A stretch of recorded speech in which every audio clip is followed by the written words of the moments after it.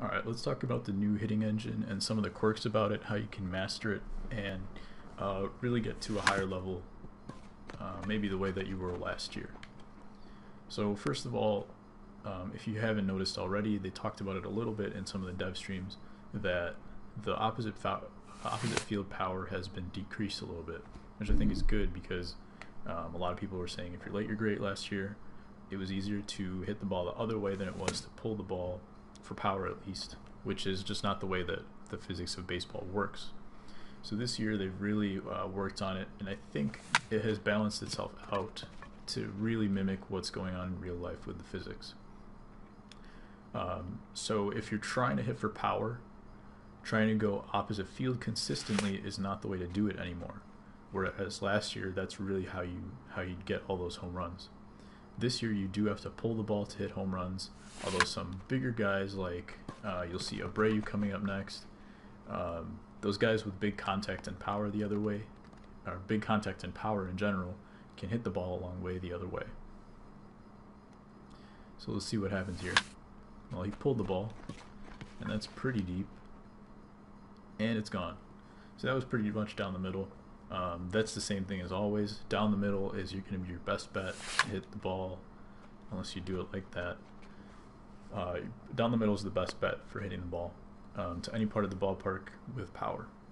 But there are a few things that you can do in addition to trying to hit the ball down the middle that can hit you get you a lot of power. So first of all, what you don't want to do is hit the other way. If you got a, a normal middle power kind of guy. The second thing you don't want to do is try to hit the ball that's coming at the bottom of the zone. So this year, it's it's a lot harder, I think, to adjust on the fly. So if you're sitting down here and you get a uh, fastball or any kind of ball down there, it is a little bit easier to hit, and you can probably hit it for a line drive. But if you're starting here or you're starting up here, and the ball comes down here, like 90% of the time you're going to hit a ground ball, which I think is a little different from last year. You used to be able to adjust really quickly from here to here, and you could hit um, line drives, even home runs on those pitches. So you're right there. I thought I, I reacted really quickly on that one. I got it a little left of the PCI, but you can see the PCI didn't get far down enough, and the ball was right along the bottom of the zone, and uh, he uh, wasn't able to get good wood on it. It was just a ground ball, ground out. now, if it's low like that, you can still hit it pretty well. I'm just talking about the ones that are right at the bottom of the zone, or um, below the zone even. Now you see right there, I did go oppo, but this ball was over the outside part of the plate. And that high and away pitch is actually what I wanted to talk about next. High and away is a very hittable pitch this year. Um, it was as well last year, but um, with the with the oppo nerfs and everything, uh, this is actually still a pitch that you can hit pretty well. And the great thing about it is not only can you hit it the other way for power, but you can pull it for power. And I think that's a lot to do with the taller guys. Um, the taller guys and the guys with big pow uh, big power, they can really take that high and away pitch and pull it for power. So that's going to be a key if you're if you're a big time pull hitter, um, and you have trouble, you roll over a lot of balls, you can actually hit that high and away pitch for power, and that can be another pitch that you want to look into. Ooh, that was a little bit off the plate, but it was still hit pretty solid.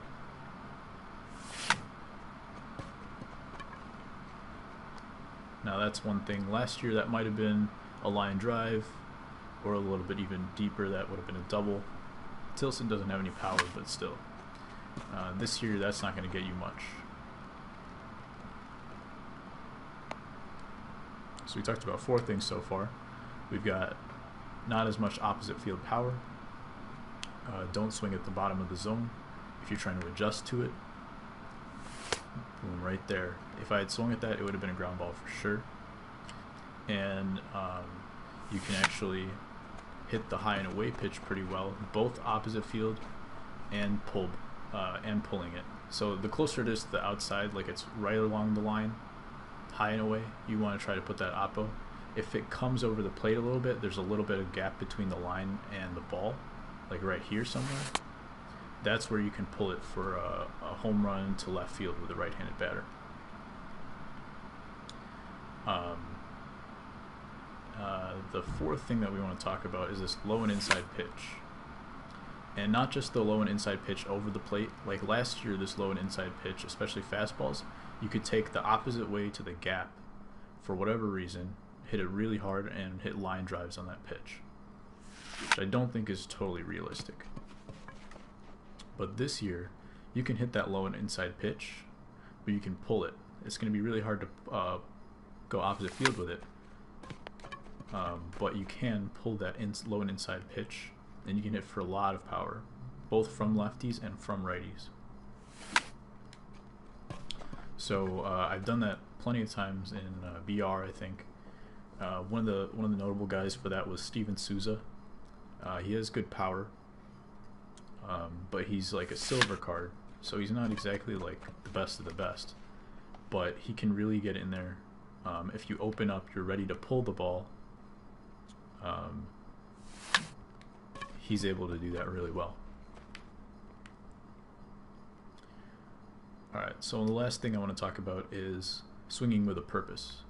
So I think it's been a little bit tougher to kind of cover everything in the plate, which on All Star difficulty, like Battle Royale, and uh, a lot of the tiers for ranked seasons, you used to be able to adjust to every pitch and hit it really hard, really well, wherever you wanted, uh, depending on your skill level, obviously. But this year, I feel like it's much harder to adjust on the fly, um, and that's why, and and that's that has a lot to do with the way that people pitch online.